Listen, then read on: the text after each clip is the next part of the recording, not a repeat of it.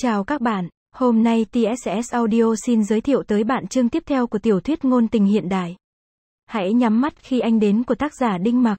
Mời bạn cùng nghe, chương 6, bầu trời sau trận mưa đêm mang màu xanh lam trong vắt. Lối đi nhỏ trong khu rừng vô cùng tĩnh mịch, trên những phiến lá vẫn còn đọng nước, lấp lánh dưới ánh mặt trời. Giản dao chậm rãi bước đi, xung quanh, chỗ nào cũng mang màu sắc tươi mới. Tâm trạng của cô cũng trở nên êm dịu và yên bình.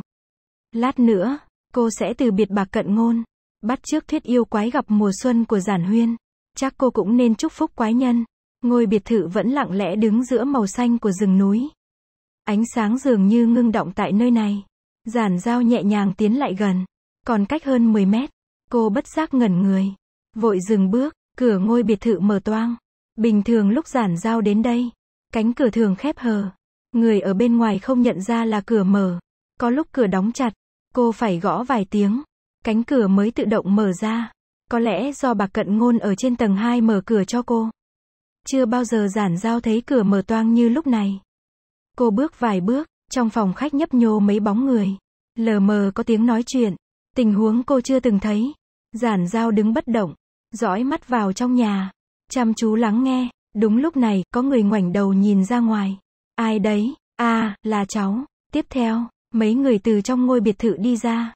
Giản giao không khỏi sừng sốt. Chính là mấy người bảo vệ ở khu tập thể sáng nay. Giản giao thường xuyên ra vào khu tập thể nên những người bảo vệ dù không biết tên cũng nhận ra cô. Trong số đó có một người bảo vệ lâu năm. Ông ta nói, giản giao. Sao cháu lại đến đây? Giản giao hơi ngẩn người khi nhìn thấy vẻ mặt căng thẳng của họ. Họ còn cầm cả cây gậy. Cô trả lời qua loa, cháu đến xem thế nào. Sao các chú lại ở đây? Đã tìm thấy con trai lão tiếu chưa ạ? À? Lão tiếu mà cô nhắc tới chính là người bảo vệ có cậu con trai bị mất tích. Tất cả đều im lặng. Một người trả lời, vẫn chưa tìm thấy. Quái nhân sống ở đây chưa thấy về nhà. Giản giao vừa định hỏi tiếp. Mắt của người bảo vệ lâu năm đột nhiên sáng rực. Cháu đến đây để giúp chúng tôi. Thế thì tốt quá. Giản giao kiên định gật đầu. Chỉ cần có thể giúp đỡ. Cháu nhất định sẽ giúp. Giản giao cùng đám bảo vệ đi vào trong nhà. Phòng khách vẫn không có gì khác biệt. 7, 8 người bảo vệ đứng hoặc ngồi. Tản mát khắp gian phòng. Đầu cầu thang lên tầng 2 có hai người bảo vệ đứng gác. Ở hành lang thông ra căn phòng bí mật cũng xuất hiện hai người canh giữ. Một người bảo vệ trung tuổi ngồi ở sofa. Viền mắt ông ta đỏ hoe. Bộ dạng ủ rũ, giản giao nhận ra ông ta chính là lão tiếu. Cô lại ngẩng đầu, dõi mắt về phía cầu thang vắng lặng. Khi những người bảo vệ kết luận chủ nhân của ngôi biệt thự này là tên bắt cóc trẻ em. Ý nghĩ đầu tiên của giản giao là không thể. Cô luôn cho rằng anh là một nhà văn chuyên viết tiểu thuyết trinh thám. Nhưng họ nói anh trò chuyện với đứa trẻ. Đúng lúc này, máy di động của giản giao đổ chuông. Là số lạ, cô đi sang một bên. Bắt máy, xin chào. Ai đấy ạ, à? giọng đàn ông ở đầu kia điện thoại vô cùng trầm thấp. Âm mũi khàn khàn mà tối qua không thấy. Có vẻ như anh vừa mới ngủ dậy, xin hãy chuyển lời tới bọn họ. Cút khỏi nhà tôi ngay. Cảm ơn, giọng anh vô cùng bình thản. Giống như nhờ cô truyền đạt một câu nói bình thường. Giản giao nắm chặt chiếc điện thoại. Đưa mắt về phía cầu thang trống không. Phó tử ngộ có bản sơ yếu lý lịch của giản giao. Vì vậy mà bà cận ngôn biết số điện thoại của cô. Lúc này, chắc anh đang ở trên tầng 2. Giản giao liếc qua đám bảo vệ cách đó không xa. Hạ thấp giọng, bạc tiên sinh, Bọn họ có một việc rất quan trọng muốn hỏi anh. Anh có thể xuống dưới này nói chuyện với bọn họ không? Bà cận ngôn cười khẽ. Nếu ai muốn gặp tôi cũng được tọa nguyện thì bây giờ tôi đã chết rồi. Giản dao tròn mắt, lại nghe anh nói tiếp chết vì mệt. Giản dao trầm mặc trong giây lát rồi lên tiếng, nếu anh không muốn thì hãy tự mình nói với bọn họ. Tôi sẽ không giúp anh chuyển lời. Giọng điệu của cô tương đối cứng rắn. Bà cận ngôn lặng thinh. Giản giao tưởng anh sẽ tức giận hoặc tiếp tục châm biếm. Ai ngờ, anh đột nhiên nói, được thôi. Cô hãy nói với bọn họ. Thứ bọn họ cần tìm ở trong hai căn phòng dưới tầng 1. Chìa khóa nằm ở góc trong cùng của tủ thứ ba trong bếp. Giọng điệu của anh đặc biệt ôn hòa. Nói xong anh liền cúp máy. Giản giao nghi hoặc đi vào bếp. Quả nhiên tìm thấy chìa khóa. Cô quay lại phòng khách. Nói với những người bảo vệ, vừa rồi cháu chưa nói với các chú. Cháu làm việc cho bà cận ngôn sống ở đây. Nhưng cháu cũng chẳng hiểu gì về anh ta. Cháu vừa gọi điện cho anh ta. Lại một lần nữa đến trước cửa hai căn phòng bí mật đó. Tim giản giao như sắp nhảy ra khỏi lồng ngực. Rốt cuộc bạc cận ngôn định cho mọi người nhìn thấy thứ gì? Thái độ hợp tác của anh thật kỳ lạ. Giọng điệu có vẻ không bình thường. Một người bảo vệ từ từ đẩy cửa. Trong căn phòng tối mờ mờ. Mấy cái giá sắt cao sừng sững. Những thứ trong đống lọ hiện ra trước mắt mọi người. Tất cả đều đứng yên ở cửa phòng. Không ai lên tiếng. Vừa ngẩng mặt, giản giao liền nhìn thấy cái bình thủy tinh đầu tiên trên giá sắt. Giữa dung dịch màu đục nổi lên một con ngươi. Trong mắt màu trắng, đồng tử lờ đờ, màu sắc sống động, tựa hồ đang quan sát cô. Giản giao lập tức nhìn xuống. Nhưng dù chỉ liếc qua, cô cũng nhận ra dãy lọ nằm trên giá ngâm toàn miệng. Răng, bàn tay, quả tim, bộ phận sinh dục đàn ông. Một người bảo vệ kêu thất thanh, giết người phanh thây. Giết người phanh thây. Nói xong, anh ta liền quay người bỏ chạy. Những người bảo vệ khác cũng biến sắc mặt. Bắt đầu lùi lại. Lão Tiếu, mặt mũi xám ngoét, đứng ngây ra như phỗng. Hai người bảo vệ kéo ông ta ra ngoài. Chúng ta ra ngoài trước. Hãy phong tỏa nơi này, cảnh sát sẽ đến ngay bây giờ. Mau báo cảnh sát. Đằng sau vang lên tiếng bước chân rồn rập và tiếng người lao sao. Nhịp tim giản giao không ổn định. Một luồng khí lạnh toát ra từ từ lan tỏa khắp tứ chi và cơ thể cô. Cô cũng quay người, nhanh chóng đi ra ngoài. Nhưng mới đi được vài bước, cô bỗng dừng lại, trên hành lang dài và hẹp phía trước. Đám bảo vệ đã không thấy bóng dáng. Giản giao đứng lại vài giây rồi quay người. Một mình đi vào căn phòng bí mật. Cảnh vật trước mắt yên tĩnh một cách đáng sợ. Giản giao cố gắng không nhìn vào những thứ trong đống lọ. Ánh mắt từ từ di chuyển xuống bên dưới một cái lọ. Trên đó dán một tờ giấy ố vàng. Lúc mới vào phòng, cô đã phát hiện hình như trên mỗi cái lọ đều dán một tờ giấy tương tự. Giản giao đọc hàng chữ viết trên đó. Là hàng chữ ghi chú bằng tiếng Anh, số ký hiệu 042. Nội dung, nhãn cầu trái. Giới tính, nữ, tuổi, 27. Nguyên nhân tử vong, tai nạn ô tô. Mất nhiều máu. Thời gian tử vong, ngày 15 tháng 8 năm 2007. Quyên tặng bệnh viện, bệnh viện bang Ohio. Trên tờ giấy còn có con dấu của bệnh viện đã bị mờ. Đây là tiêu bản bộ phận cơ thể người dùng để nghiên cứu khoa học. Giản giao thở phào nhẹ nhõm.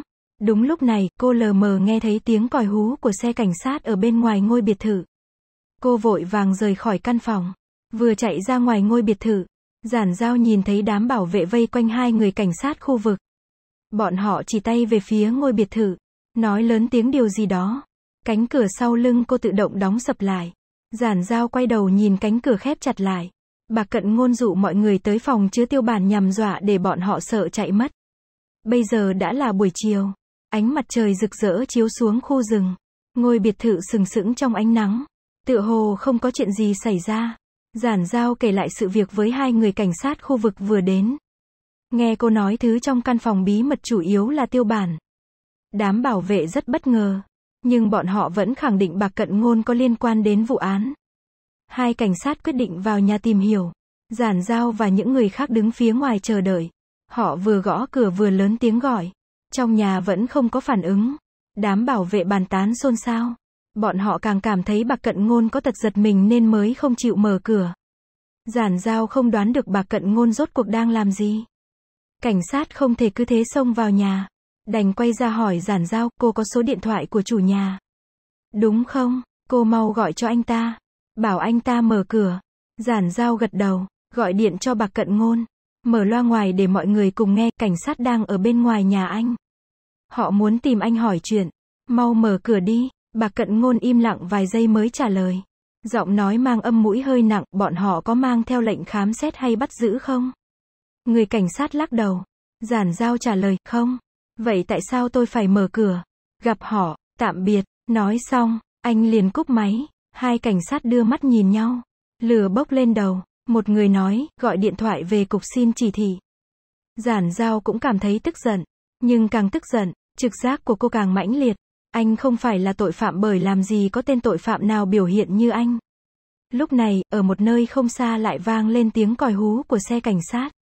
Mọi người đều quay đầu về hướng đó. Mấy người cảnh sát cùng một người đàn ông trung niên với vẻ mặt nghiêm nghị đi nhanh về phía ngôi biệt thự. Lý Huân Nhiên cũng có mặt. Giản giao nhận ra người đàn ông trung niên. Đó là cục trưởng cục cảnh sát thành phố. Tình hình trên khu vực sườn núi trở nên phức tạp. Lý Huân Nhiên rất bất ngờ khi nhìn thấy giản giao. Anh đi đến bên cô. Sao em lại ở đây? Giản giao nói, hai. Ba câu không thể nói rõ ràng. Sao cục trưởng lại đến đây? Lý Huân Nhiên thoáng cười. Đó là nụ cười hưng phấn và khó đoán. Anh nhắc lại lời cô, hai. Ba câu không thể nói rõ ràng. Hôm nay cục trưởng nghe người ở trên nói. Mới biết anh ta sống ở đây. Ông ấy cứ đòi đích thân đến đây gặp anh ta. Giản giao cảm thấy hơi kỳ lạ. Cô đang muốn hỏi rõ ràng nhưng bên kia có người gọi Lý Huân Nhiên. Anh vội nói, em giúp người của khu tập thể nhà em đến đây tìm đứa trẻ phải không? Anh biết có người báo án, nhưng họ nhầm lẫn rồi. Sao anh ta có thể là tên tội phạm được cơ chứ? Lát nữa chúng ta nói chuyện sau.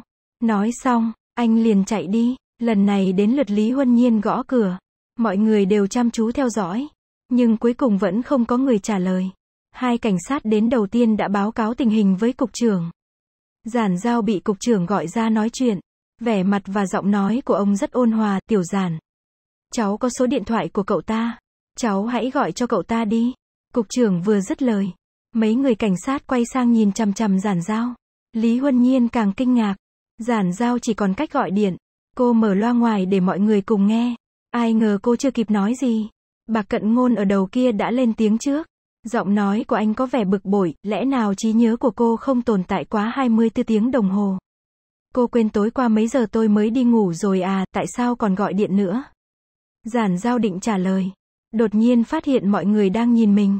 Đám cảnh sát đều là người nhạy bén. Nhìn cô bằng ánh mắt phức tạp.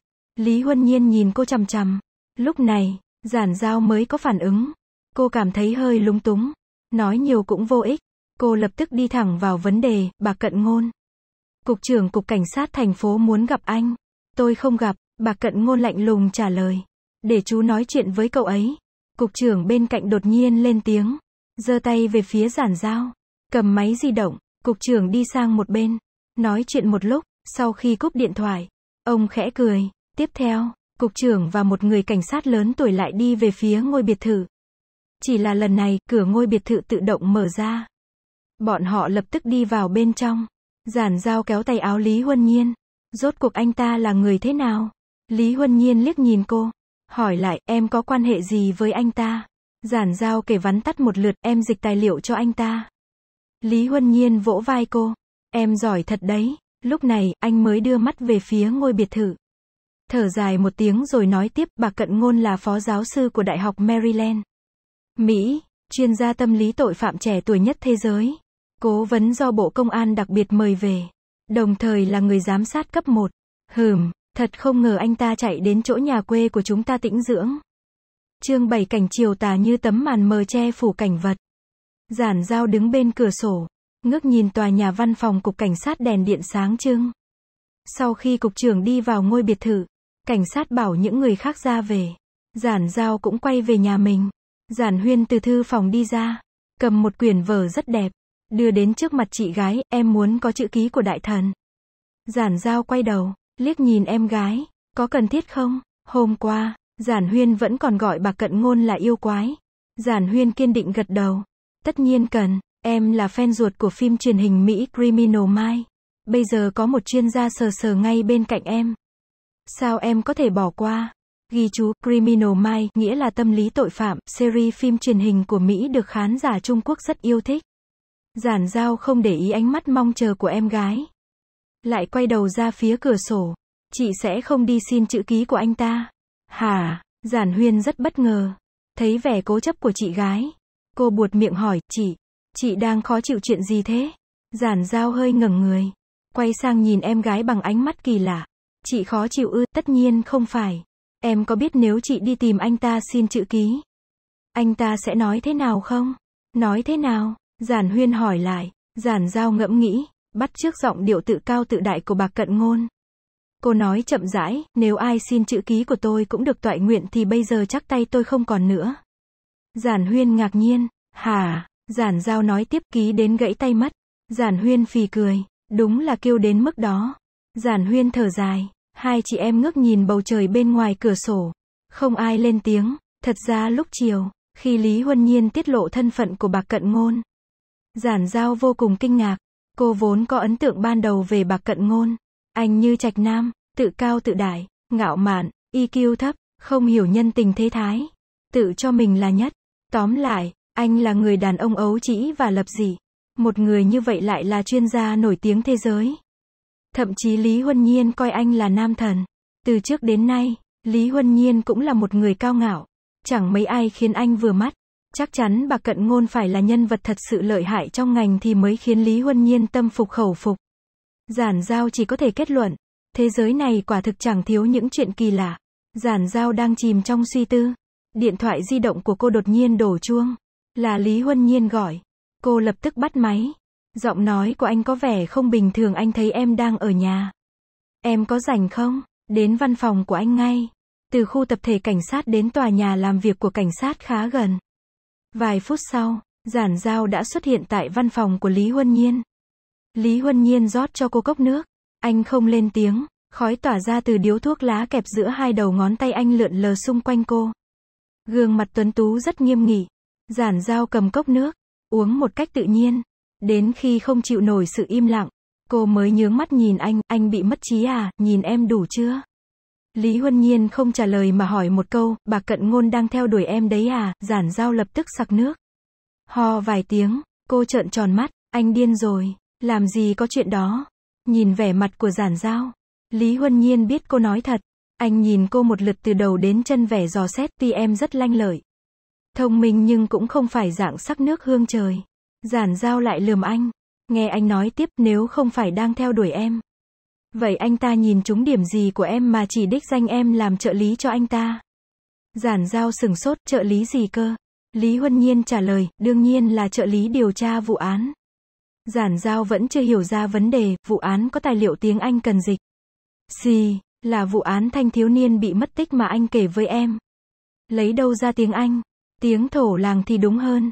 Giản giao sững sờ, vẻ mặt của Lý Huân Nhiên hoàn toàn nghiêm túc, chứng tỏ anh không nói đùa cô. Cô hỏi, tại sao lại là em? Em đâu phải là cảnh sát. Lý Huân Nhiên nhìn cô, không lên tiếng, anh nhớ lại cảnh tượng anh đi tìm bà cận ngôn mấy tiếng trước. Lúc đó, vị chuyên gia đã gặp gỡ cục trưởng và lãnh đạo cục cảnh sát.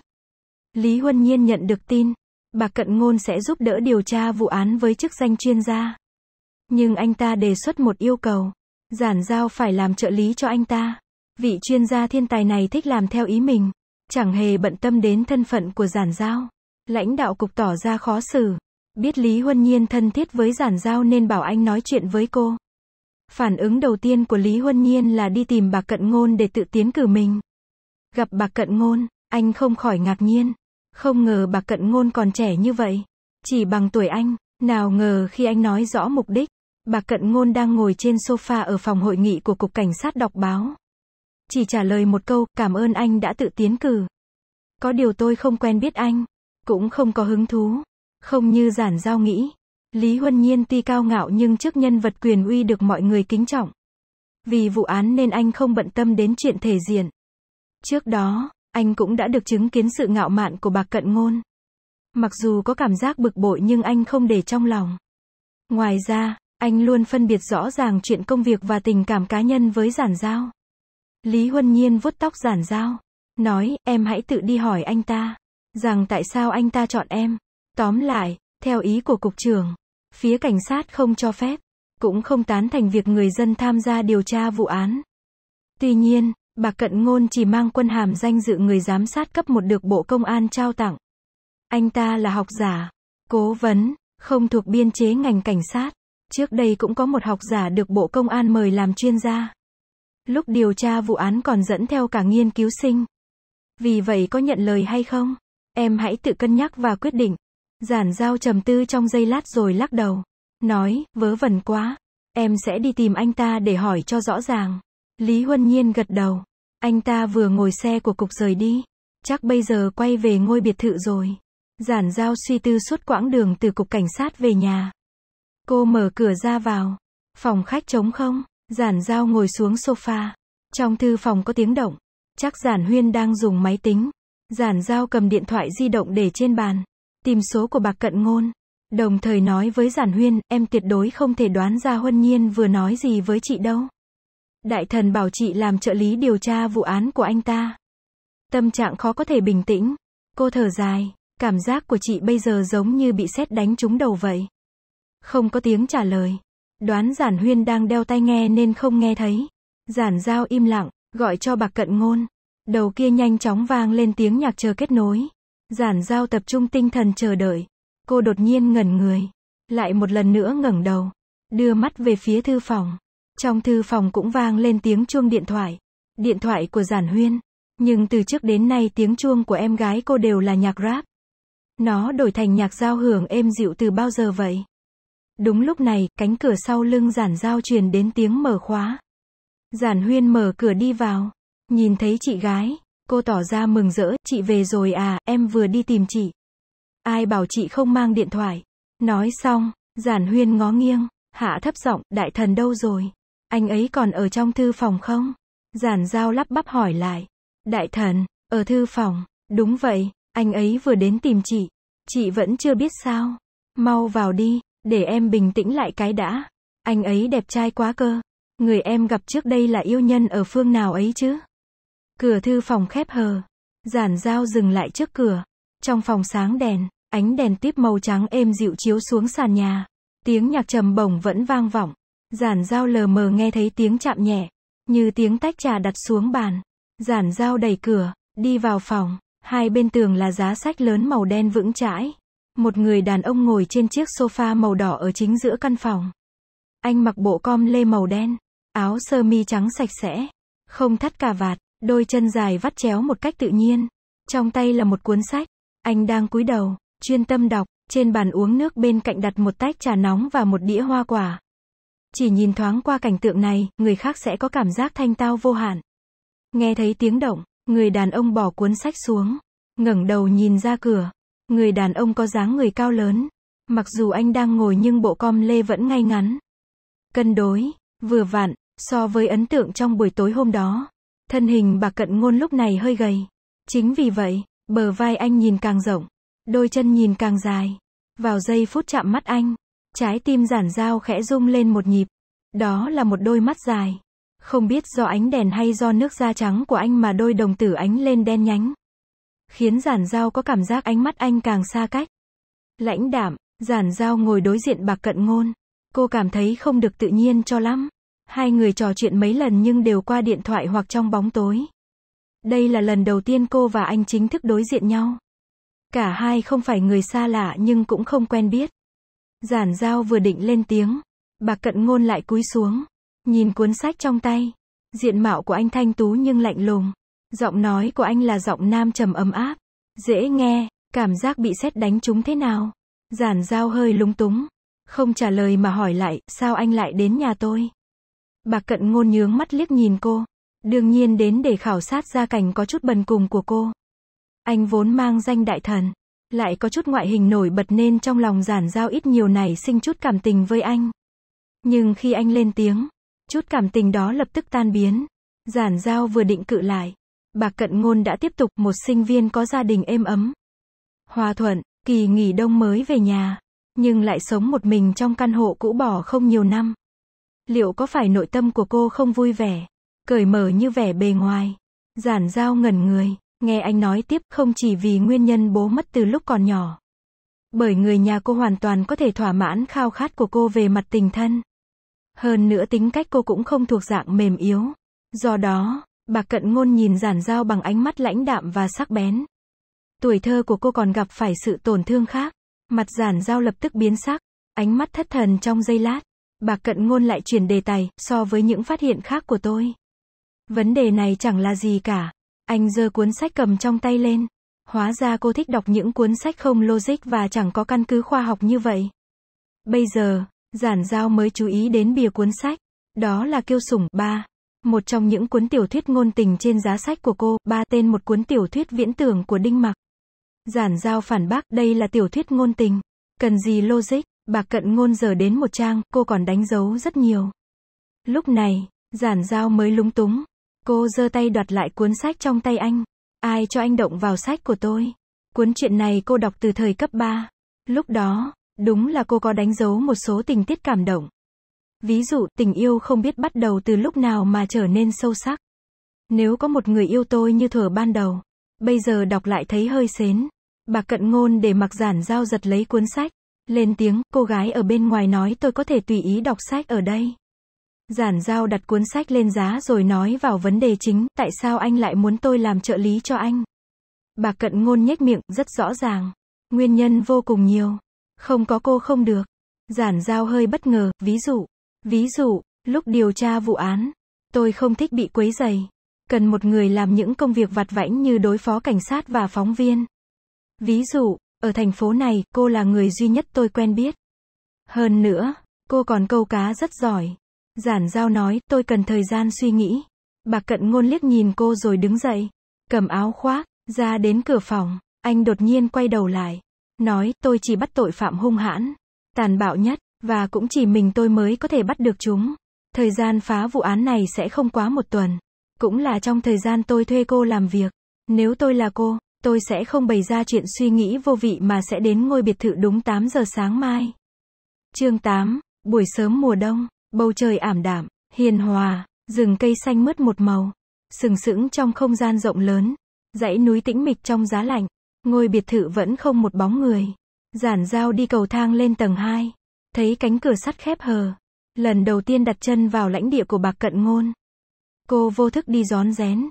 Bạc cận ngôn, bạc cận ngôn, không có tiếng trả lời. Đi tới cửa căn phòng thứ nhất. Giản giao liền dừng bước. Cửa phòng mở toang. Bên trong tối mờ. Trên mặt bàn cạnh cửa sổ xếp đầy tài liệu. Còn có mấy quyển sách. Trông rất bừa bộn. Cạnh chiếc bàn là chiếc sofa cỡ lớn. Trên sofa có một tấm chăn. Trên bàn nước có đặt cốc trà sứ men xanh. Nước trà vẫn còn một nửa. Trên bức tường đối diện chiếc sofa treo một tấm bảng màu trắng. Trên tấm bảng dính đầy ảnh chụp và dòng chữ viết tay bằng bút dạ màu đen chi chít. Giản giao đi đến trước tấm bảng trắng. Lặng lẽ quan sát. Trên bảng có tổng cộng 9 tấm ảnh. Là ảnh những đứa trẻ bị mất tích. Chúng đều là trẻ em xuất thân từ nông thôn. Có gương mặt ngây thơ. Thật thà. Bên dưới ba tấm ảnh ghi chú địa điểm. Lần lượt là chợ ở phía nam thành phố. Nhà ga. Khu bán vật liệu xây dựng. Giản giao từng nghe Lý Huân Nhiên nói. Đây là những địa điểm đã xác định có trẻ em mất tích. Bởi vì trước khi mất tích, chúng từng nói với người nhà và bạn bè chúng sẽ đi tới nơi này. Những đứa trẻ còn lại đều không rõ mất tích ở đâu. Bên dưới tấm bảng xuất hiện một loạt địa danh như chợ ở phía đông thành phố, bến xe, chợ nông sản, giản giao ngẫm nghĩ, liền hiểu ra vấn đề. Những địa danh này đều có đặc điểm chung là nơi đông người qua lại. Ngoài ra, quán internet, quán game, Phòng chiếu phim là nơi bọn trẻ thích tới. Do đó có khả năng là nơi tên tội phạm thường xuất hiện. Tuy nhiên, những địa điểm nói trên phân tán khắp cả thành phố. Muốn tìm ra tên tội phạm, chỉ e là mò kim đáy bể. Giản giao lại đưa mắt nhìn xuống dưới. Chữ viết rất rối, tiếng Trung lẫn tiếng Anh. Có từ đơn chỉ viết một nửa. Giản giao nhìn đến mờ mắt vẫn không hiểu nghĩa. Thậm chí, ở góc bảng còn vẽ một con rùa nhỏ. Tuy chỉ là vài nét bút đơn giản nhưng trông rất sinh động. Lúc phân tích vụ án, Bạc Đại Thần thích vẽ rùa để tăng thêm cảm hứng. Khóe miệng giản dao cong lên. Nhưng giữa những dòng chữ khó nhìn xuất hiện mấy từ viết rất rõ ràng. Hơn nữa còn lặp đi lặp lại vài lần. Không có nhân chứng, không có nhân chứng. Đây là điều kiện bất lợi mà ai cũng biết. Tại sao anh lại nhấn mạnh điều này? Giản giao nghĩ mãi không ra. Nhưng cô vẫn rút điện thoại. Nhắn tin cho Lý Huân Nhiên, KP, không có nhân chứng. Tối qua sau khi quyết định, giản giao lập tức thông báo cho Lý Huân Nhiên. Lý Huân Nhiên đến nhà cô ngay. Anh nói với cô, anh muốn học trộm bản lĩnh của anh ta. Giản giao không khỏi bất ngờ, học trộm kiểu gì? Em hãy ghi lại toàn bộ từng câu nói. Từng lời phân tích, quan điểm, lý luận về vụ án và tinh túy trong tư tưởng của anh ta rồi báo cho anh biết. Lý Huân Nhiên giải thích đây không coi là hành vi xâm phạm quyền lợi của người khác. Tóm lại em biết gì anh biết nấy. Giản giao đáp em không hiểu gì về tâm lý tội phạm. Nhưng em sẽ cố gắng. Vì vậy bây giờ, khi phát hiện ra điểm quan trọng đầu tiên, giản giao liền gửi tin nhắn cho anh. Lý Huân Nhiên nhanh chóng nhắn lại. Giản giao mỉm cười. Cô vừa cất máy di động liền nghe thấy tiếng bước chân ở bên ngoài truyền tới. Bà cận ngôn khoác áo ngủ màu trắng. Chậm rãi đi vào phòng. Cảnh gặp gỡ không giống sự tưởng tượng của giản giao. Hôm qua anh rất ngạo mạn, tự phụ, ăn nói độc địa, hơn nữa, anh thể hiện là người có IQ thấp, hoàn toàn không nghĩ đến cảm nhận của người khác. Có điều lúc đó anh mặc com lê chỉnh tề, toát lên khí chất xuất sắc và cao quý khác người. Còn lúc này, vẫn là gương mặt trắng trẻo, đôi mắt đen nhánh, sống mũi cao và bờ môi mỏng. Nhưng sắc mặt anh không được tốt, có vẻ thờ ơ, hình như tâm trạng không mấy vui vẻ. Hơn nữa, anh còn đi chân đất trong nhà. Lúc đi qua giản giao, bà cận ngôn ngoảnh đầu nhìn cô. Giản giao tưởng anh sẽ nói câu gì đó. Nào ngờ anh cứ không thấy cô. Điềm nhiên đi về phía trước. Đến bên bàn nước, anh cầm tách trà rồi quay người. Đi ra ngoài, giản giao cũng không tỏ ra sốt ruột. Việc gì cô phải chủ động trò chuyện với anh chứ? Hai người, một trước một sau xuống dưới tầng một. Bà cận ngôn đi vào phòng bếp. Cúi người xuống lấy một hộp sữa trong tủ lạnh. Bỏ vào lò vi sóng. Tiếp theo, anh bỏ mấy lát bánh mì vào lò nướng và ném một lọ mứt hoa quả lên bàn. Sau đó, anh ngồi xuống trước bàn ăn. Nhìn mặt bàn chăm chăm. Giản giao đứng ở cửa phòng bếp chờ đợi. Cô tưởng bà cận ngôn sẽ nói chuyện công việc thì đột nhiên anh đặt hai tay lên bàn. Nằm bò lên mặt bàn. Đến khi lò vi sóng kêu tinh một tiếng. Bà cận ngôn mới ngẩng đầu. Đứng dậy, lấy đồ ăn, bắt đầu ăn sáng với sắc mặt vô cảm. Tối qua anh ngủ muộn à, giản giao hỏi. Ừ, anh buông một tiếng. Giọng trầm thấp, khàn khàn. Một lúc sau, bà cận ngôn bỗng ngẩng đầu nhìn cô. Ánh mắt anh lấy lại sự sắc bén, cô nên thay đổi phong cách ăn mặc. Giản dao cúi xuống ngắm bộ váy công sở màu đen trên người. Lặng lẽ gật đầu, cũng chỉ vì phối hợp với phong cách ăn mặc của anh. Cô mới cố tình khoác bộ đồ nghiêm chỉnh từng diện trong buổi phỏng vấn. Bà cận ngôn nhìn cô chăm chú, ánh mắt rất tập trung. Giản giao bị chiếu tướng hồi lâu nên cảm thấy không tự nhiên. Anh lắc đầu, không bắt mắt như mấy ngày trước. Tốt nhất cô nên mặc theo phong cách đó. Giản giao nhìn anh, ánh mắt ngạc nhiên, nhưng anh tiếp tục ăn. Không để ý đến cô. Phụ nữ đều thích nghe người khác khen ngợi hình thức bề ngoài. Đặc biệt, câu nói đó lại thốt ra từ miệng bạc cận ngôn. Giản giao hiếm có dịp mỉm cười với anh. Được, sau khi ăn xong, bạc cận ngôn đứng dậy. Tuy vẫn mặc bộ đồ ngủ và đi chân đất nhưng anh đã hoàn toàn trở lại vẻ cao ngạo thường thấy. Cô trợ lý nghiệp dư, xin hãy sắp xếp tài liệu ở tầng trên. Sau đó cầm ra xe đợi tôi. Một chiếc xe cảnh sát đỗ trên đường cái gần ngôi biệt thự. Người tài xế đã đến được một lúc. Giản giao ngồi ở ghế sau. Xem tài liệu vài phút mới thấy bạc cận ngôn từ con đường nhỏ đi ra. Anh mặc bộ com lê nghiêm chỉnh. Khoác thêm chiếc áo khoác đen dài. Càng tôn lên nước da trắng. Anh quàng chiếc khăn màu cà phê, còn đeo khẩu trang cỡ lớn, chỉ để lộ đôi mắt đen dài. Bà cận ngôn ngồi vào ghế sau ô tô cạnh giản giao. Lúc này, anh mới tháo khẩu trang, ném sang một bên, bình thản cất lời, có thể xuất phát rồi. Tại sao anh đeo khẩu trang? Giản giao hiếu kỳ, bà cận ngôn nhìn cô bằng ánh mắt kỳ lạ, cô không cảm thấy lạnh sao? Giản giao, tôi không cảm thấy. Mặc dù nói vậy nhưng cô biết nhiều người miền Bắc không thích ứng với mùa đông của phương Nam. Bà cận ngôn trưởng thành ở nước ngoài. Có lẽ do không hợp thủy thổ nên anh mới đeo khẩu trang. Chỉ là anh thích làm theo ý mình. Trong khi người miền Nam không có thói quen đeo khẩu trang. Thảo nào anh bị thiên hạ gọi là quái nhân. Ô tô đi một đoạn. Rời khỏi nội thành. Lên đường quốc lộ. Chúng ta đi đâu vậy? Giản giao hỏi. Bà cận ngôn tựa vào thành ghế. dáng vẻ rất thư thái. Thân hình cao lớn của anh chiếm nửa dàn không gian. Giản giao chỉ còn lại góc nhỏ. Vậy mà anh cũng chẳng bận tâm. Bàn tay đặt trên đầu gối gõ nhẹ. Anh cất giọng lười nhác đi lấy địa chỉ của hắn. Hắn, hắn là ai? Khóe miệng bà cận ngôn ẩn hiện ý cười, đương nhiên là tên tội phạm của chúng ta. Xe cảnh sát chạy nhanh trên đường quốc lộ. Hàng cây hai bên đường tiêu điều trong sắc trời mùa đông ảm đạm. Giản giao nhìn gương mặt thản nhiên của bà cận ngôn. Hỏi tiếp ý anh là, tội phạm chỉ có một tên. Hơn nữa, còn là người ở đây. Trước đó, Lý Huân Nhiên nghi ngờ tội phạm là một nhóm chuyên bắt cóc trẻ em hoặc đám giang hồ từ ngoài đến đây gây án. Nhưng theo cách nói của bà Cận Ngôn, anh đã phủ nhận hai khả năng này. Bà Cận Ngôn liếc nhìn cô. Cô cũng không đến nỗi ngốc nghếch. Nạn nhân của 10 vụ án có điểm tương đồng. Khoảng thời gian giữa hai vụ án có quy luật. Thủ pháp gây án như nhau. Tội phạm có trình độ ổn định và không bao giờ xảy tay. Đây rõ ràng là đặc điểm của cá nhân. Do đó chỉ có thể là một người. Giản giao cho mày, trầm tư suy nghĩ, một lúc sau, cô rút điện thoại, gửi tin nhắn, bà cận ngôn không hề nhìn cô.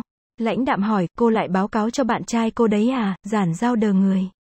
ngẩng đầu nhìn anh, anh ấy không phải là bạn trai tôi. Bà cận ngôn không đáp lời. Tựa người vào ghế, nhắm mắt nghỉ ngơi. Giản giao hỏi, anh có để bụng chuyện tôi báo cáo không? Tại sao tôi phải để bụng việc làm vô vị đó? Xe cảnh sát dừng lại ở một làng quê. Hai bên đường quốc lộ đều là nhà ở, có toàn nhà 4, 5 tầng, nhưng cũng có ngôi nhà gỗ thấp cũ kỹ.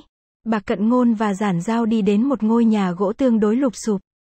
Đây là nhà của Phó Minh Nghĩa. Cậu bé đầu tiên bị mất tích. Địa điểm mất tích không rõ. Bạc Cận Ngôn chỉ nói với Giản Giao. Mục đích đến đây là tìm ra địa điểm nạn nhân mất tích chuẩn xác. Nhưng anh không cho biết lý do. Giản Giao tiến lên, gõ cửa với tâm trạng đầy nghi hoặc. Trong nhà cũ kỹ, tăm tối chỉ có ba gian phòng. Đồ đạc hết sức đơn giản. Sắc mặt bố mẹ Phó Minh Nghĩa hốc hác. Tiểu tụy, theo lời khai trước đó. Sáng sớm Phó Minh Nghĩa rời khỏi nhà. Khoảng 8 giờ đến thành phố Đồng. Cậu bé vừa tròn 15 tuổi. Là học sinh năm thứ ba trung học cơ sở. Cậu bé đến nhà cô ruột ở thành phố Đồng. Ở nhà cô khoảng nửa tháng để học thêm. Chờ lâu mà không thấy Phó Minh Nghĩa tới. Người cô gọi điện về nhà cậu bé. Mới biết cậu đã mất tích. Sau một hồi hỏi tỉ mỉ bố mẹ cậu bé. Bà Cận Ngôn vẫn không tìm ra manh mối mới. Cậu bé không nói cho bất cứ ai biết cậu sẽ đi đâu. Đến chưa? sau khi an ủi bố mẹ Phó Minh Nghĩa, Giản Giao đi vào phòng ngủ của cậu bé.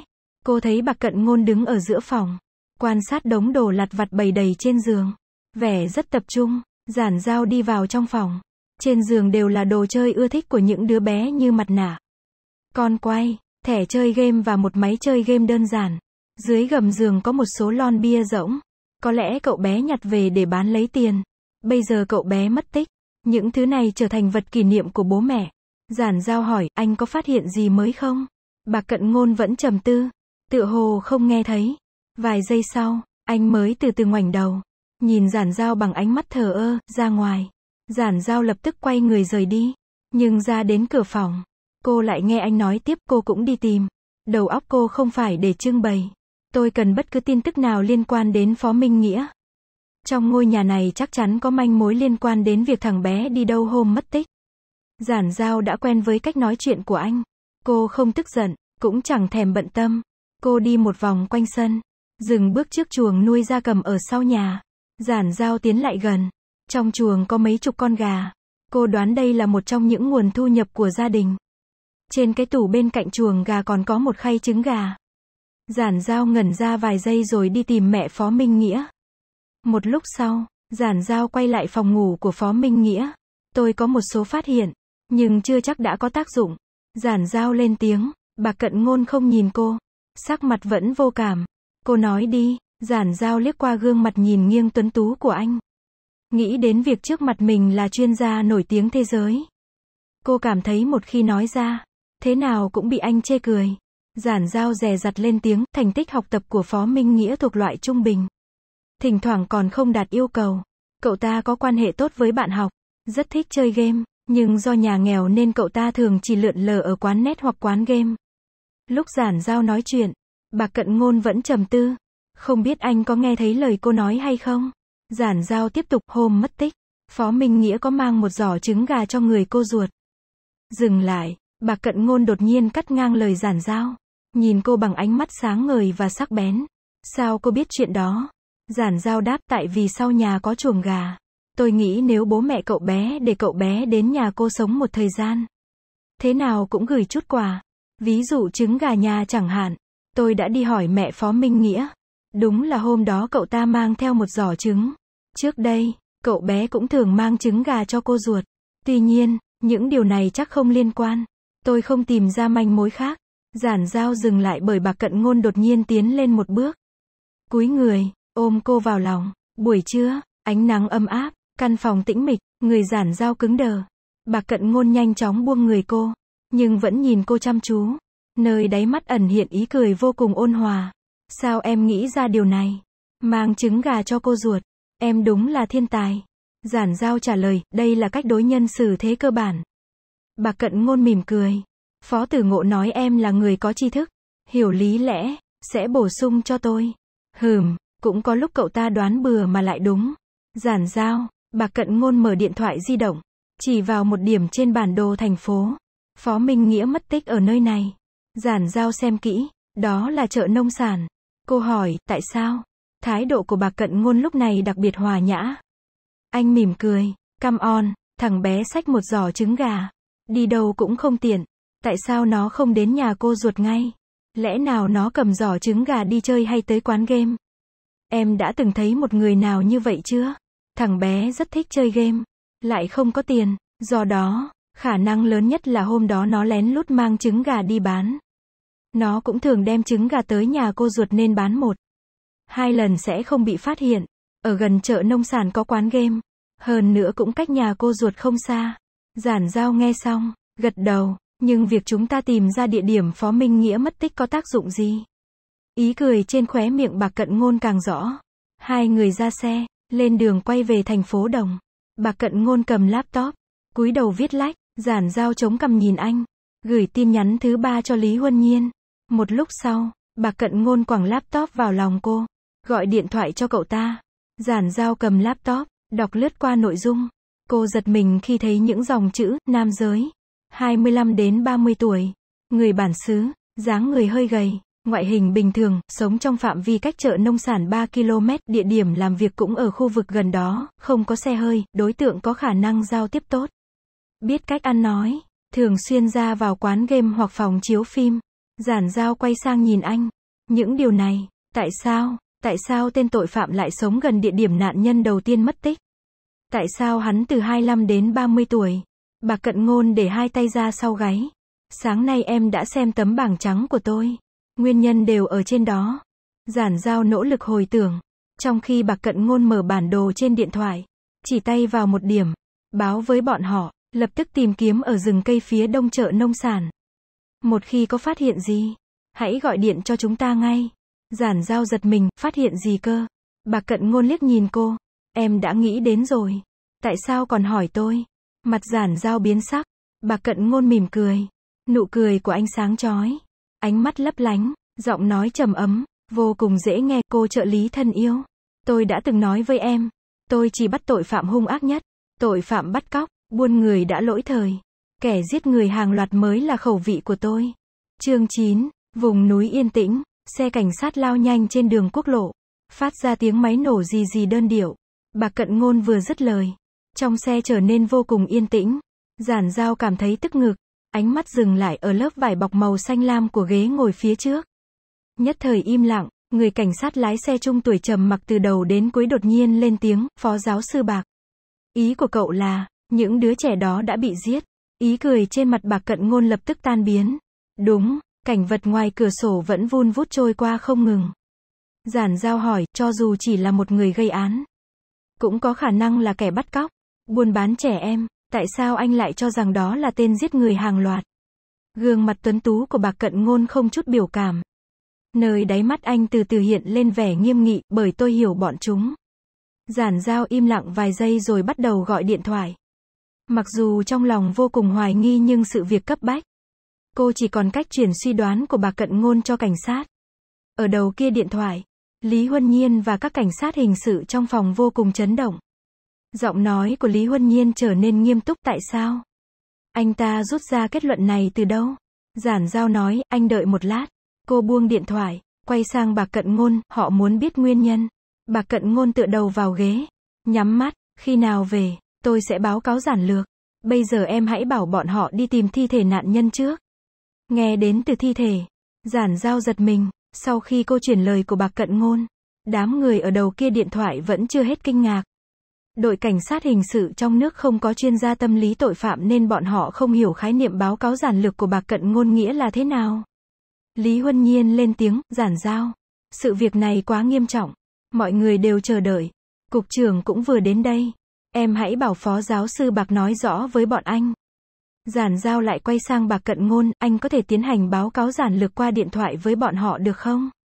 Bạc Cận Ngôn mở mắt, lặng lẽ nhìn cô, lần báo cáo giản lược gần đây nhất của tôi là ở hội trường trung tâm Berkeley thuộc Đại học Maryland. Bây giờ em bảo tôi, anh đưa mắt ra ngoài cửa sổ, tiến hành báo cáo giản lược tại trạm thu phí thôn Mã Đầu. Huyện Vụ Lâm trên đường quốc lộ 108. Giản giao thấy buồn cười nhưng cô vẫn nghiêm túc trả lời, thế thì sao? Một khi lý luận của anh đúng đắn, anh đứng ở đâu cũng sẽ khiến người khác giác ngộ. Bà cận ngôn lấy khẩu trang, đeo lên miệng, xem ra không để tâm đến ý kiến của cô. Giản giao nhìn đồng hồ, còn hơn một tiếng nữa mới về đến thành phố Đồng. Cô không thể nói thẳng với cảnh sát rằng bà cận ngôn không muốn giải thích. Thế là cô cân nhắc từ ngữ. Nói với Lý Huân Nhiên, chuyện là như vậy. Phó giáo sư Bạc đang chuẩn bị nội dung báo cáo. Có một số chứng cứ cần bổ sung nên bây giờ không rảnh rỗi. Lát nữa tới thành phố Đồng. Phó giáo sư sẽ lập tức giải thích với mọi người. Nội dung báo cáo giản lược sẽ hoàn chỉnh hơn. Cô đang nói chuyện điện thoại. Bà cận ngôn ngồi bên cạnh đột nhiên lên tiếng. Giọng nói trầm thấp của anh vui vẻ như tiếng ngâm nga, trợ lý đều là những kẻ lừa đảo. Giản giao còn chưa cúp điện thoại. Cô nói mà không hề nghĩ ngợi, anh câm mồm ngay. Xe ô tô về đến cục cảnh sát lúc trạng vạng. Từ xa, giản giao đã nhìn thấy Lý Huân Nhiên và mấy cảnh sát đứng dưới tòa nhà chờ đợi. Ánh mắt cô bất giác di chuyển lên tầng 3, tới một căn phòng bật đèn sáng trưng. Đó là phòng hội nghị lớn của đội cảnh sát hình sự. Vừa rồi Lý Huân Nhiên thông báo qua điện thoại, bà Cận Ngôn sẽ tiến hành báo cáo ở nơi đó. Lần cô bị đưa đến phòng hội nghị trước đây là năm 6 tuổi. Giản Giao đang chìm trong suy tư. Bên tai cô bất ngờ vang lên giọng nói trầm ấm như có nhạc điệu, khóe miệng sệ xuống. Mặt hơi cúi xuống, mi mắt trên cụp xuống. Tại sao tôi vừa nhìn thấy biểu hiện đau khổ điển hình được che giấu dưới vẻ bình tĩnh của em? Giản giao không ngờ bà cận ngôn nhạy bén đến mức đó bởi sắc mặt cô rõ ràng là bình thản như lời anh nói. Bà cận ngôn nhìn cô chăm chú. Anh tỏ ra đã hiểu rõ vấn đề. Ừm, xem ra phán đoán lần trước của tôi có sai lệch. Nỗi bi thương trong lòng em có liên quan đến bố em. Giản giao nói, anh lầm to. Vừa rồi tôi cảm thấy đau khổ là bởi anh sắp tiến hành báo cáo giản lược với đội cảnh sát hình sự. Đôi mắt dài của bà cận ngôn nheo nheo. Anh cúi thấp người để đứng ngang bằng với giản giao rồi nhìn thẳng vào mắt cô. Cô trợ lý, em uống nhầm thuốc đấy à, giản giao lập tức lùi lại một bước. Nới rộng khoảng cách với anh. Chính vì là trợ lý của anh nên tôi rất thành khẩn khuyên anh một câu. Bên trong đều là những cảnh sát hình sự trung thành và kính nghiệp. Có lẽ họ không lợi hại bằng anh trong lĩnh vực điều tra vụ án nhưng lát nữa. Khi tiến hành báo cáo, tôi mong anh đừng chế giễu họ. Nếu họ đưa ra thắc mắc, anh hãy kiên nhẫn trả lời. Giản giao nói câu này là bởi hễ lên tiếng thì câu nào của bà cận ngôn cũng có thể khiến người đối diện tức chết. Hơn nữa, thái độ trước đó của anh với cảnh sát không mấy hòa nhã. Thân thiện, nào ngờ bà cận ngôn đứng thẳng người. Nhìn cô bằng ánh mắt ngạo mạn, sợi dây thần kinh nào trên bộ não của em này ra ý nghĩ kỳ lạ này. Giản giao ngẩng người, nghe anh nói tiếp từ trước đến nay tôi chế giễu người khác không phải vì tranh lệch IQ hay ỉ vào ưu thế chuyên ngành của mình. Tính chất công việc của cảnh sát hình sự và tôi hoàn toàn khác nhau. Tại sao tôi phải chế giễu bọn họ vì họ không hiểu tâm lý tội phạm? Nói xong, bà cận ngôn điềm nhiên quay người. Sải bước dài về phía trước. Trời sập tối, trong phòng hội nghị, đèn điện sáng như ban ngày. Những người cảnh sát hình sự ngồi vây quanh một chiếc bàn tròn. Lãnh đạo cục cũng ngồi lẫn với bọn họ. Bầu không khí nặng nề và căng thẳng. Không một lời thừa thãi. Sau câu giới thiệu đơn giản của Lý Huân Nhiên, bà Cận Ngôn được mời lên bục phát biểu. Giản giao tìm một cái ghế ở góc phòng. Ngồi xuống đó, dưới ánh đèn tuyết, bộ com lê với đường may chỉn chu màu đen càng tôn lên thân hình cao gầy và gương mặt trắng trẻo tuấn tú của bạc cận ngôn. Sắc mặt anh không chút biểu cảm, ánh mắt lãnh đạm lướt qua mọi người. Tất cả những điều này khiến từ người anh toát lên khí chất không dễ tiếp cận. Hoàn toàn khác người đàn ông mỉm cười ôn hòa từng ôm giản dao vào lòng và người đàn ông cao ngạo độc mồm độc miệng trước đó. Bạc cận ngôn bây giờ trông càng nghiêm túc và lạnh lùng. Trong không khí trầm mặc, bạc cận ngôn từ tốn lên tiếng, chúng ta cần tìm một người đàn ông sống ở đây. Từ 25 đến 30 tuổi. Diện mạo bình thường, chiều cao trung bình, dáng người hơi gầy, thường xuyên ra vào khu vực xảy ra các vụ án. Rất có khả năng hắn là nhân viên ở đó. Đây là nguyên nhân khiến hắn không thu hút sự chú ý của người khác. Hắn tương đối thông minh, cũng rất cẩn thận, trước khi gây án, hắn sẽ thận trọng quan sát. Hắn có sở thích riêng về nạn nhân. Đối tượng hắn lựa chọn đều là các cậu bé nông thôn lên thành phố làm thuê. Bỏ học hoặc thích chơi bời. Những đứa trẻ này không có nhiều kinh nghiệm cuộc sống, cũng không đề phòng người lạ như các bé gái. Thể lực không bằng đàn ông trưởng thành nên dễ bị dụ dỗ. Khống chế, đa phần địa điểm gây án đều nằm ở khu vực đông người qua lại.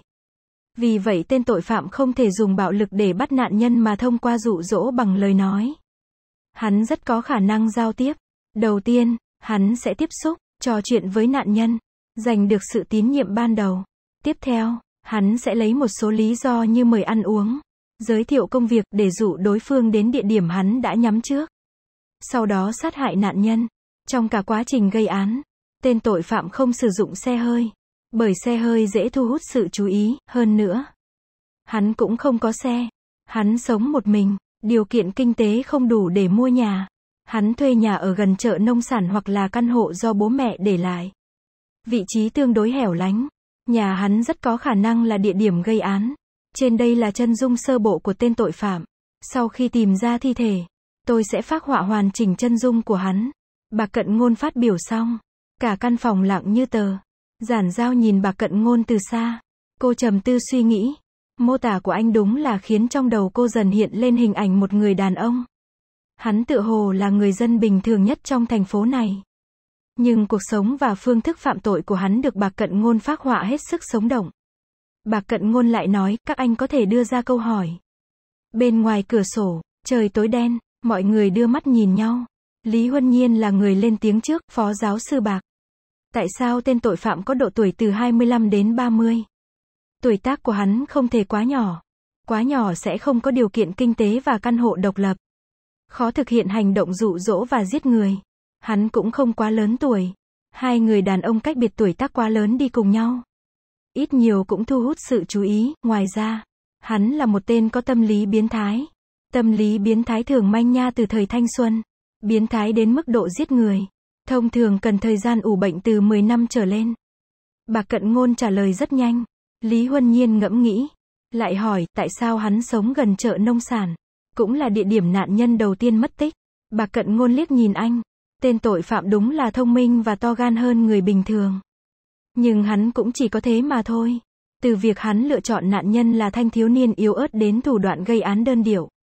Có thể thấy, với tư chất có hạn của mình, ở lần đầu tiên gây án, hắn tuyệt đối không dám đi xa nhà vài cây số đến nơi mà hắn không quen thuộc. Hắn cũng không chắc chắn có thể thuyết phục nạn nhân cùng mình đi tới địa điểm xa xôi. Mọi người đều gật gù. Ban đầu nghe kết luận của bạc cận ngôn, ai nấy đều cảm thấy không thể tin nổi. Nhưng nghe sự phân tích của anh, bọn họ ngộ ra tất cả đều hết sức đơn giản. Sau Lý Huân Nhiên, những người khác lần lượt lên tiếng, nói ra nghi vấn của mình. Sắc mặt bạc cận ngôn lãnh đạm, không thể hiện sự nhiệt tình. Nhưng đúng như anh nói, anh không chế nhạo, mỉa mai, câu trả lời của anh ngắn gọn và rất rõ ràng. Cuối cùng, sau khi mọi người đã hỏi tương đối, Lý Huân Nhiên đột nhiên lên tiếng, phó giáo sư Bạc. Tại sao anh nói sau khi tìm thấy thi thể nạn nhân? Anh có thể phác họa hoàn chỉnh chân dung của tên tội phạm. Phòng hội nghị lại rơi vào trạng thái tĩnh lặng. Bà cận ngôn đứng dưới ánh đèn sáng. Anh nhìn lướt qua mọi người. Đôi mắt dài trong suốt cuối cùng cũng vụt qua ý cười kiêu ngạo. Bởi vì mọi tiếng nói từ nội tâm của hắn đều phản ánh trên thi thể nạn nhân. Giản giao và bà cận ngôn về đến ngôi biệt thự đã là hơn 9 giờ tối. Vừa vào nhà, bà cận ngôn thong thả đi lên cầu thang. Giản giao đứng dưới, hỏi, bây giờ chúng ta làm gì? Đi tắm, giản giao ngồi dưới nhà chờ đợi. Hôm nay là lần đầu tiên cô tận mắt chứng kiến năng lực nghề nghiệp của bà cận ngôn. Ấn tượng của cô về anh đã có sự thay đổi lớn. Người đàn ông này trong công việc đáng kính hơn trong cuộc sống rất nhiều lần.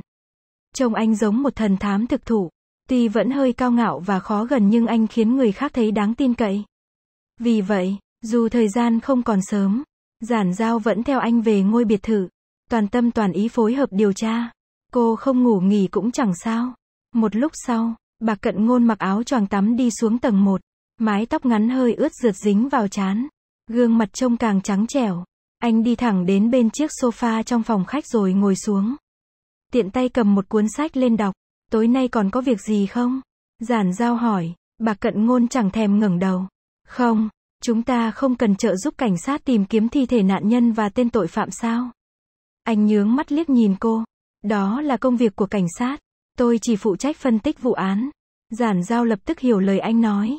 Cảnh sát huy động một lực lượng lớn. Có khả năng tìm kiếm xác nạn nhân cả đêm. Cô và anh cũng chẳng giúp được gì. Thế là cô đứng dậy. Nói, vậy tôi về nhà trước. Ngày mai tôi lại đến. Bà cận ngôn bình thản dở sách. Nhẹ nhàng thốt ra hai từ, không được. Giản giao ngạc nhiên nhìn anh. Nghe anh từ tốn nói tiếp, bây giờ toàn bộ thời gian của em đều thuộc về tôi. Giản giao ngẩn người, mở to mắt nhìn gương mặt nhìn nghiêng của anh. Nếu là người đàn ông khác, Ít nhiều câu nói này cũng mang hàm ý chọc ghẹo và mờ ám. Nhưng lời nói thốt ra từ miệng bạc cận ngôn. Đương nhiên đúng nghĩa đen của từ ngữ. Nhưng chẳng phải hết việc rồi sao? Giản giao lên tiếng, tôi về nhà trước. Khi nào anh gọi, tôi sẽ đến ngay. Không được, nếu nửa đêm cần đi xem thi thể nạn nhân. Lẽ nào tôi còn phải mất thời gian lái xe đến đón em? Giản giao im lặng trong giây lát. Bây giờ bắt được tên tội phạm sớm ngày nào thì sẽ ngăn cản được hắn giết người sớm ngày đó. Cô hỏi, vậy tôi ngủ ở đâu? Phòng của phó tử ngộ. Đêm đã khuya, giản giao nằm trên chiếc giường rộng lớn. Ngắm nhìn rừng núi tối đen bên ngoài cửa sổ. Cô không tài nào ngủ nổi. Đã 11 giờ đêm. Bà cận ngôn vẫn chưa ngủ. Trong đêm tối yên tĩnh, cô có thể nghe thấy tiếng bước chân của anh ngoài hành lang. Thậm chí cô còn nghe thấy tiếng anh lật dở trang sách. Viết chữ trên tấm bảng trắng và tiếng động nhẹ ở căn phòng làm việc bên cạnh. Sau đó, giản giao bị đánh thức bởi tiếng chuông điện thoại. Giản giao, bọn anh đã phát hiện ra thi thể nạn nhân. Đầu kia điện thoại truyền đến tiếng gió thổi ù ù, tiếng người ồn ào. Huyên náo, Lý Huân Nhiên ngừng vài giây. Giọng nói của anh vô cùng nặng nề, rất nhiều. Giản giao lập tức ngồi bật dậy. Rời khỏi phòng, hành lang tối om, cô đi đến phòng bạc cận ngôn. Gõ cửa, gọi anh nhưng không có ai trả lời. Giản giao lại rút điện thoại. Gọi vào di động của anh nhưng vẫn không có người bắt máy. Bên trong phòng cũng không vang lên chuông điện thoại. Hay là nửa đêm anh đã đi ra ngoài. Giản giao chạy xuống tầng 1. Mở tủ tìm chìa khóa. Khi cô đẩy cánh cửa phòng ngủ của bạc cận ngôn. Một luồng khí nóng thổi vào mặt cô. Anh mở điều hòa nóng. Phòng tối om, giản giao lờ mờ nhìn thấy một chiếc giường cỡ lớn đặt giữa phòng. Trên giường có người đang nằm. Giản giao bật đèn, gọi hai tiếng, bà cận ngôn vẫn không tỉnh giấc. Cô đành tiến lại gần. Ga trải giường màu xanh da trời nhạt. Trông rất ấm áp, dễ chịu. Bà cận ngôn mặc áo choàng tắm dày mềm mại. Nằm im ở giữa giường. dáng vẻ của anh lúc ngủ rất ngay ngắn. Anh nằm thẳng người, hai tay duỗi thẳng đặt hai bên sườn. Anh đang nhắm mắt ngủ nên hàng lông mi và lông mày trông càng đen nhánh. Vẻ mặt rất ôn hòa. Giản dao lay lay cánh tay anh. Gọi, bà cận ngôn. Anh vẫn bất động. Giản dao chỉ còn cách vỗ nhẹ vào mặt anh hai cái. Mau tỉnh dậy đi. Cuối cùng, anh cũng có phản ứng. Lông mày hơi nhướng lên. Giản dao tưởng anh thức giấc. Ai ngờ anh vẫn nhắm mắt. giơ tay lên, túm lấy tay cô. Giản dao ngẩn người. Bà cận ngôn cầm tay cô. Đưa lên miệng. Đặt một nụ hôn nhẹ nhàng. Lòng bàn tay truyền đến cảm xúc ấm nóng. Mềm mại, hơi thở đàn ông phả vào làn da giá lạnh của cô. Cảm giác buồn buồn từ lòng bàn tay truyền đến sống lưng. Khiến giản dao cứng đờ người. Khi cô định rút tay về, liền nghe thấy giọng nói trầm ấm của anh. Tự hồ vô thức lẩm bẩm, thần mặc tự đi ngủ đi. Giản dao nhíu mày, thần mặc, theo phản xạ, trong đầu cô lập tức xuất hiện ý nghĩ. Đây là tên bạn gái của anh. Giản giao không nghĩ ngợi nhiều. Cố rút tay về, hàng lông mi của bà cận ngôn rung rung. Đôi mắt đen cuối cùng cũng từ từ mở ra. Bốn mắt nhìn nhau, bà cận ngôn vẫn nằm bất động. Nhanh chóng lấy lại sự tỉnh táo. Tại sao em xuất hiện trong phòng tôi? Trên bàn tay của giản giao vẫn còn lưu lại cảm giác ấm nóng cô vội lên tiếng, bọn họ tìm thấy xác nạn nhân rồi. Giản giao quay về phòng thay quần áo. Khi cô ra đến ngoài hành lang, bà cận ngôn đã mặc com lê. Đi giày ra trình tề. Anh đột nhiên dừng bước, cúi đầu nhìn xuống đất, trầm mặc, đừng đứng chắn đường. Ghi chú, chữ thần và chữ trầm đồng âm nên lúc đầu giản giao hiểu nhầm là thần mặc. Giản giao thuận theo ánh mắt của bạc cận ngôn, mới phát hiện một con rùa rất lớn đang đứng giữa cửa phòng anh. Con rùa đó dường như hiểu tiếng người, chậm chạp đi về một bên mép cửa. Chương 10, trời tối mờ mờ, rừng cây âm u tĩnh mịch tỏa ra không khí lành lạnh. Đây là khu đất trống ở ngoại ô thành phố. Trên khu đất thấp thoáng bụi cây và cỏ dại. Có không ít rác dưới dồn động đã bao năm. Không thấy dấu vết của con người. Giản giao và bà cận ngôn đỗ xe trên con đường đất. Hai người xuống xe, đi bộ tới nơi tìm thấy xác nạn nhân. Đầu đầu cũng thấy bóng dáng cảnh sát. Mặt đất bị đào bới xới lộn. Còn xuất hiện mấy cái hố lớn. Giản giao vừa ngẩng đầu liền bắt gặp hai người cảnh sát đang đứng dưới một cái hố cúi thấp người nhấc lên một chiếc túi ni lông màu đen rất lớn. Trên bãi đất trống bên cạnh có mấy chiếc túi tương tự. Cảnh sát đang mở từng túi ni lông. Ánh mắt nghiêm túc của bọn họ đều lộ vẻ không đành lòng. Giản giao cũng cảm thấy rất đau xót. Cô quay mặt đi. Lúc này, Lý Huân Nhiên từ phía trước chạy tới. Gương mặt anh lạnh buốt. Khi nói phả đầy làn hơi trắng, có tất cả 8 người. Thi thể bị chặt thành nhiều khúc. Theo phán đoán sơ bộ, cái xác có thời gian tử vong gần đây nhất là một tuần trước. Vì dạo này nhiệt độ tương đối thấp nên xác nạn nhân không bị thối rữa. Thời gian tử vong của những thi thể khác đều từ vài tháng trở lên. Người bị giết chết đầu tiên cũng cách đây hơn một năm. Trên mặt bà cận ngôn không một chút biểu cảm. Anh cùng Lý Huân Nhiên đi nhanh về phía trước. Giản giao dừng bước tôi không qua bên đó. Hai người đàn ông cùng quay lại nhìn cô.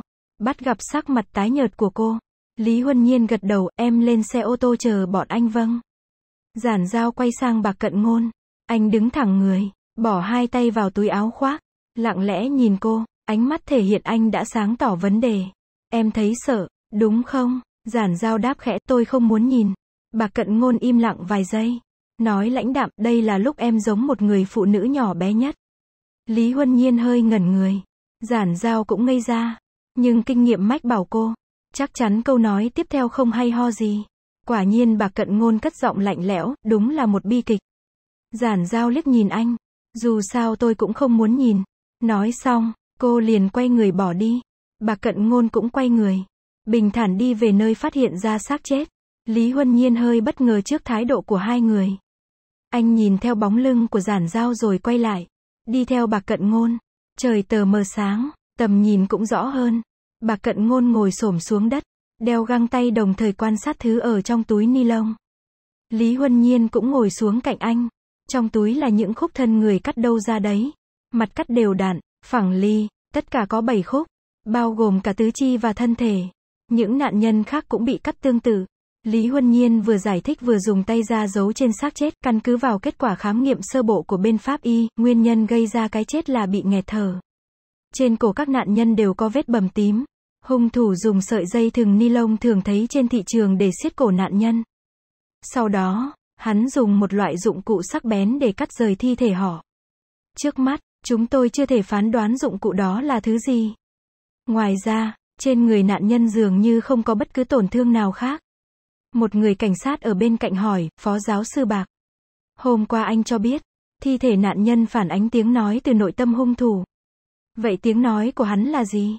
Bạc cận ngôn thong thả trả lời, không có xâm hại tình dục. Không có hành vi ngược đãi. Hành hạ nạn nhân trước hoặc sau khi chết. Nạn nhân cũng không bị lấy máu. Không bị trúng độc. Không bị lấy bất cứ cơ quan nội tạng nào. Hung thủ chỉ làm một việc duy nhất là giết người và cắt xác nạn nhân.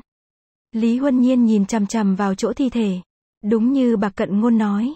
Trước đó anh đều cho rằng, đám thanh thiếu niên có khả năng bị xâm hại tình dục hoặc ngược đãi rồi mới bị giết chết. Nào ngờ, những điều này không xảy ra, mà hung thủ trực tiếp giết chết nạn nhân. Người cảnh sát hình sự ở bên cạnh ngập ngừng vài giây. Hỏi tiếp ý của phó giáo sư là hung thủ bắt thanh thiếu niên chỉ với một mục đích giết chết bọn trẻ. Hắn giết người đơn thuần vì hắn muốn. Đây là hành vi trả thù xã hội của hắn hay sao? Bà cận ngôn mỉm cười với ông ta. Một tên tâm lý biến thái thật sự chẳng bao giờ quan tâm đến xã hội thì làm gì có chuyện hắn trả thù xã hội. Bọn chúng giết người xuất phát từ nhu cầu trong nội tâm. Chứ không phải hành vi tự buông thả bản thân. Người cảnh sát đờ người. Lý Huân Nhiên cũng nhướng mắt nhìn bà cận ngôn. Bà cận ngôn đứng dậy. Dõi mắt về phía chợ nông sản cách đó không xa. Đầy vẻ lạnh nhạt và ngạo mạn. Hung thủ không bày ra bất cứ trò nào khác. Ngược lại bớt việc cho tôi. Dấu hiệu hành vi, tiếng nói trong nội tâm và sự hoang tưởng của hắn được ẩn giấu trong quá trình hắn giết người. Cắt xác, hắn làm thế nào để cắt nạn nhân thành từng khúc? Dùng loại dụng cụ nào? Theo trình tự như thế nào?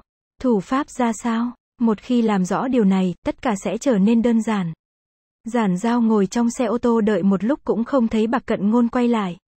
Lúc trời sáng hẳn mới có một cảnh sát trẻ tuổi chạy đến. Nói, giản tiểu thư.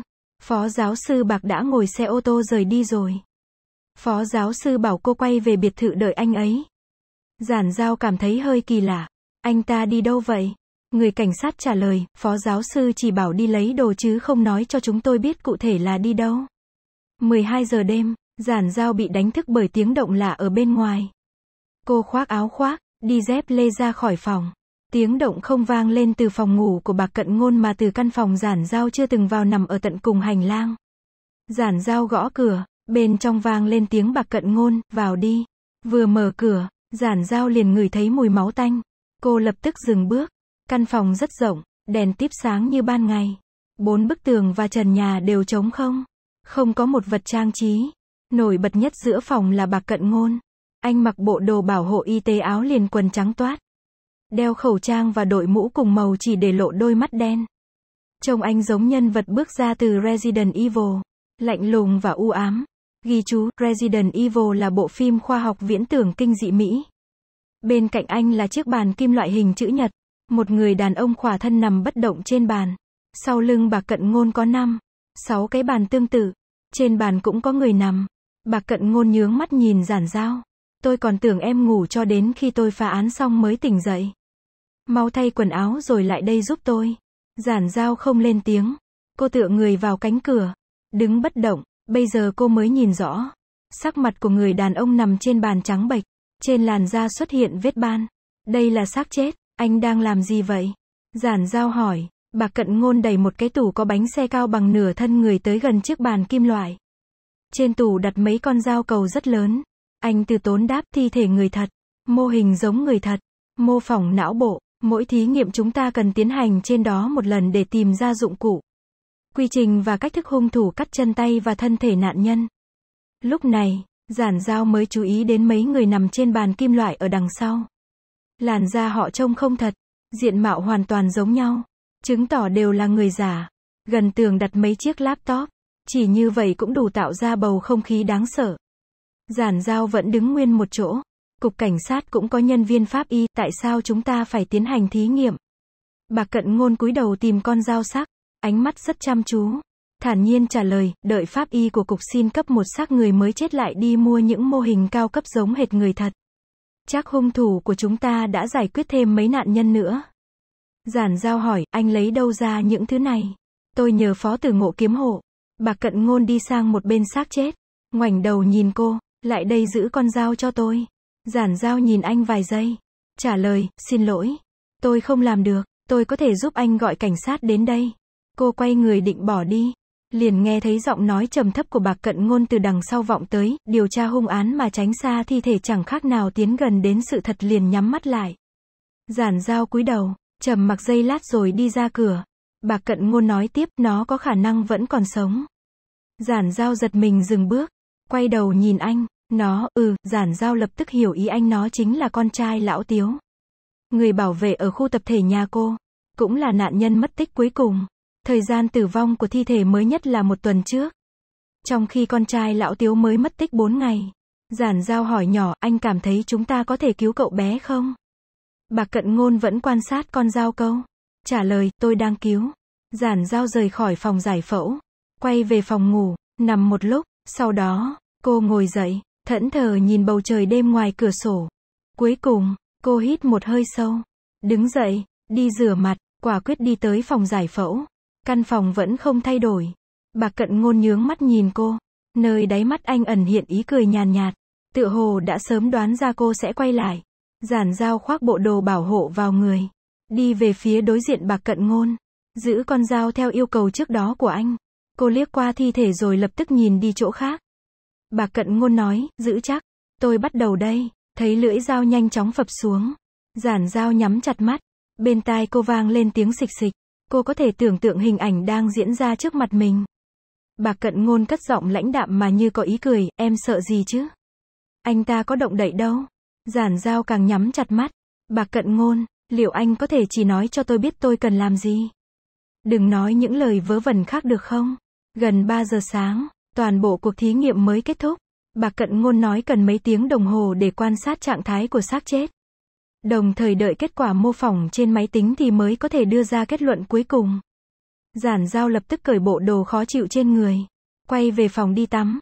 Sau khi giản giao lên giường, cả căn phòng trở nên vô cùng tĩnh lặng. Cô không tài nào chợp mắt được. Nhìn chằm chằm lên trần nhà tối mờ. Trong đầu cô tự động hiện lên hình ảnh vô tình lọt vào mắt ban nãy. Sống lưng cô lạnh toát. Trong phòng như âm u hơn. Giản giao vốn là người gan giả. Nhưng cô chưa bao giờ trải qua chuyện như trong buổi tối hôm nay. Giản giao ngồi bất động một lúc. Sau đó cô đứng dậy. Mở cửa, thò đầu ra ngoài ngó nghiêng. Cô thở phào nhẹ nhõm khi thấy phòng làm việc mở cửa. Đèn điện sáng trưng, cô đi vào. liền nhìn thấy bạc cận ngôn đang cầm cốc cà phê, chăm chú đọc sách, trước mặt đặt một đĩa cá hồi thái lát. Nghe thấy tiếng động, bạc cận ngôn chỉ liếc nhìn cô rồi tiếp tục đọc sách. Giản giao ngồi xuống chiếc sofa bên cạnh, tìm một cuốn sách, không biết bao lâu sau. bà cận ngôn đột nhiên đứng dậy. Giản dao ngẩng đầu, thấy anh thong thả đi đến trước mặt cô. Chúc ngủ ngon, anh nói. Giản dao đáp lại, chúc ngủ ngon. Đợi anh về phòng ngủ. Giản dao mới đứng dậy. Đi về phòng cô. Tuy nhiên, cô cảm thấy tâm trạng đã dễ chịu hơn. Chở mình trên chiếc giường một lúc. Cô mơ mơ màng màng chìm vào giấc ngủ thì đột nhiên nghe thấy tiếng gõ cửa. Giản giao chạy ra mở cửa nhưng bên ngoài không một bóng người. Cửa phòng bà cận ngôn vẫn đóng chặt. Cô bỗng hoảng hốt, vừa định đóng cửa, cô bất chợt nhìn thấy một thứ đen xì ở dưới đất. Không rõ xuất hiện từ bao giờ. Trầm mặc chậm chạp bò vào phòng cô. Khi giản giao tỉnh dậy, trời đã sáng hẳn, ánh mặt trời dịu dàng chiếu sáng cả căn phòng. Trầm mặc yên tĩnh nằm dưới ánh nắng. Đầu và bốn chân thò ra khỏi mai. Đôi mắt nó đen xì. Đờ đẫn, giản dao xuống giường, ngồi xổm trước mặt trầm mặc. Quan sát một lúc, cô giơ tay vuốt ve cái mai của nó. Nó lập tức rụt đầu và chân vào trong. Giản dao đứng dậy, mở cửa phòng, liền nhìn thấy phòng giải phẫu đã mở cửa. Bên trong lờ mờ có bóng người. Giản dao đánh răng, rửa mặt rồi tới phòng giải phẫu. Khi cô vô thức quay đầu, thấy trầm mặc đã rời khỏi phòng cô. Đang từ từ bỏ về phòng bạc cận ngôn. Vừa vào cửa, giản giao liền nhìn thấy bạc cận ngôn mặc com lê chỉnh tề. Đứng bên cửa sổ, quay lưng về phía cô. Những chiếc bàn kim loại đặt xác chết tối qua giờ trống không? Tâm trạng giản giao nhẹ nhõm hơn. Bạc cận ngôn quay người nhìn cô. Ánh nắng chiếu lên mái tóc đen ngắn và làn da trắng của anh. Tựa hồ có quầng sáng nhàn nhạt chuyển động. Điểm nổi bật nhất là đôi mắt đầy ý cười của anh. Như hồ nước lấp lánh dưới ánh mặt trời. Bị anh chiếu tướng, trái tim giản giao rung lên một nhịp. Tâm trạng cô cũng trở nên nhẹ nhõm. Cảm ơn con rùa của anh. Ý cười trong mắt bạc cận ngôn càng rõ. Nhưng anh thốt ra một câu chẳng liên quan đến câu cô vừa nói, hắn tưởng tượng mình trở thành cỗ máy giết người. Giản dao ngẩn người, bạc cận ngôn xoay người, đút hai tay vào túi quần, để lộ thứ ở trên chiếc bàn sau lưng anh. Đó là một con dao cầu đã được cải tạo. Thân dao đen bóng, thẳng tắp, ba lưỡi dao giống hệt nhau được lắp vào rãnh. Lưỡi dao tỏa ra ánh sáng lành lạnh bà cận ngôn giơ tay, ấn xuống tay nắm ở bên cạnh. Ba lưỡi dao đồng thời hạ xuống. Giản dao giật mình, trong khi vẻ mặt bà cận ngôn càng ôn hòa. Căn cứ vào số liệu thí nghiệm tối qua, anh tháo găng tay, ném sang một bên, nhướng mắt nhìn cô, vết thương do lưỡi dao có độ dày và chất liệu này tạo thành gần với xác nạn nhân nhất. Hơn nữa, chỉ khi cả ba lưỡi dao đồng thời hoạt động, mới có thể ăn khớp với tình trạng máu kết đông. Thi thể cứng đờ, chắc em cũng biết, con người không thể nào cùng một lúc sử dụng bằng tay cả ba con dao lớn như vậy. Giản giao hỏi, ý của anh là, ý của tôi là nhà hung thủ có một cỗ máy giết người giống cái này. Hắn bắt nạn nhân nhằm biến bọn họ trở thành vật hy sinh của cỗ máy giết người. Đương nhiên, cỗ máy của nhà hắn chắc chắn không có chất liệu tốt và độ chuẩn xác bằng cỗ máy mà tôi chế tạo cả đêm qua. Thần thái của anh lộ vẻ kiêu ngạo. Có lẽ bị ảnh hưởng bởi giọng nói của bà cận ngôn tim giản giao cũng đập nhanh hơn. Cô lờ mờ cảm thấy một sự căng thẳng và xúc động. Cô nhìn chằm chằm lưỡi dao. Nói, việc vận chuyển dao như thế này được nhà nước quản lý chặt. Hung thủ không thể mua trên mạng. Cũng không thể vận chuyển bằng xe ô tô đường dài và tàu hỏa. Nơi có thể mua loại dao này ở thành phố chúng ta chắc cũng có hạn. Người mua không nhiều, không biết chừng chúng ta có thể tìm ra dấu vết của hung thủ. Bà cận ngôn ngồi xuống ghế cầm cốc cà phê đặt trên bàn chứa cỗ máy giết người. Tao nhã đưa lên miệng, uống một ngụm, đầu óc em cũng không đến nỗi chậm chạp. Với trí thông minh của hung thủ, nhất định hắn đã lãng phí không ít lưỡi dao mới chế tạo được cỗ máy miễn cưỡng có thể so sánh với cỗ máy của tôi. Em hãy thông báo ngay với đội cảnh sát hình sự. Bọn họ có thể bắt đầu làm việc được rồi. Tôi sẽ cung cấp cho bọn họ chân dung chuẩn xác của tên tội phạm. Nếu gặp may, chúng ta có thể cứu sống đứa trẻ cuối cùng. Hết chương 10. Hẹn bạn ở tập tiếp theo. Hãy nhấn subscribe để ủng hộ TSS Channel bạn nhé.